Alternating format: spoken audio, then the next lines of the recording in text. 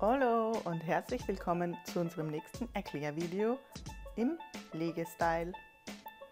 Heute geht es um Open Educational Resources, zu Deutsch offene oder auch freie Bildungsressourcen. Das sind Bildungsmaterialien, die frei verfügbar sind. Sie können verändert und wieder weitergegeben werden.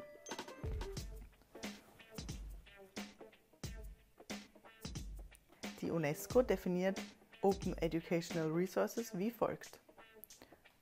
Es sind Bildungsmaterialien jeglicher Art und in jedem Medium, die unter einer offenen Lizenz veröffentlicht werden.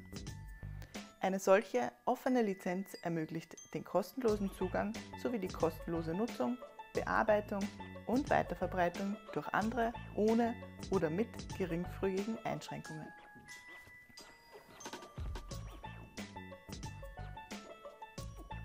Open Educational Resources können einzelne Materialien, aber auch komplette Kurse oder Bücher umfassen.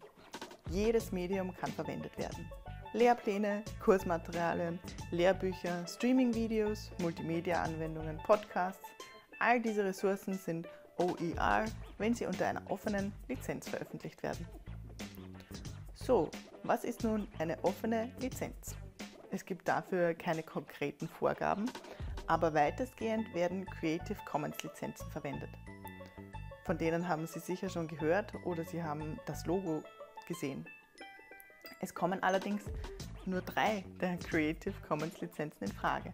Und zwar CC BY, das heißt der Name muss angegeben werden, CC BY SA, der Name muss angegeben werden und das Werk darf nur unter gleichen Bedingungen weitergegeben werden und CC0, das Werk geht über in die Gemeinfreiheit, wird also im übertragenen Sinn in die Freiheit entlassen.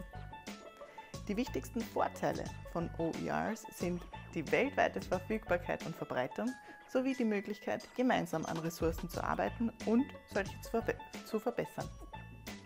Wo können Sie solche freien Bildungsressourcen finden? Natürlich haben wir bei unserem Lehrerinnenweb sehr viele Open Educational Resources, zum Beispiel bei den Praxisideen, aber auch bereits bei vielen Downloads. Es gibt eine gesammelte Liste beim Austria Forum, die ich Ihnen unter dem Video verlinkt habe.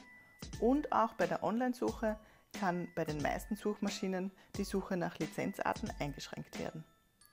In diesem Sinne, frohes Finden, Bearbeiten, Weitergeben und bis bald!